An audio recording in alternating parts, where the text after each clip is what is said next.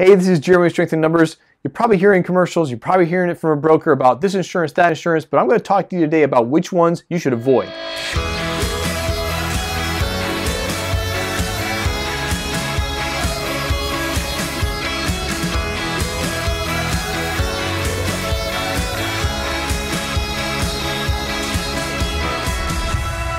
You've seen the commercials, I know you have, with a certain duck and a certain broken skier and all these different things that are advertising insurances that seem to make sense, right?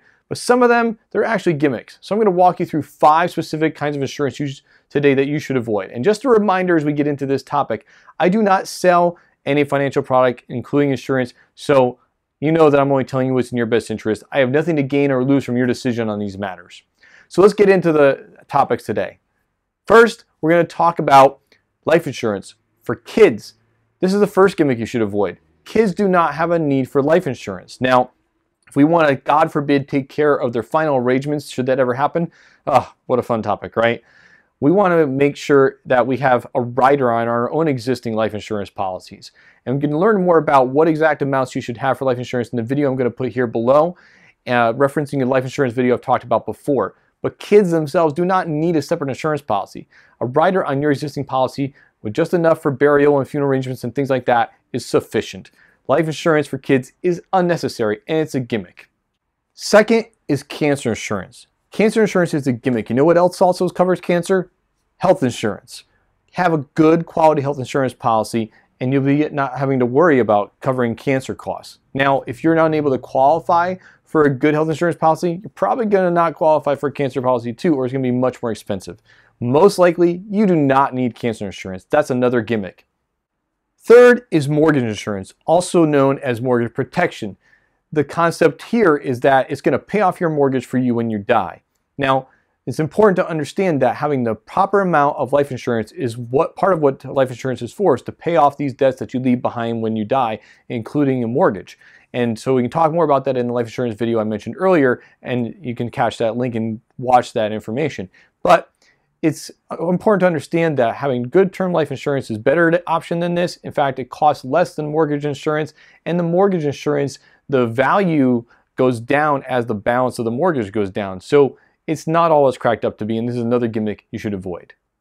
Fourth is accidental death and dismemberment insurance, commonly looked at as AD&D when you're looking at especially on a pay stub.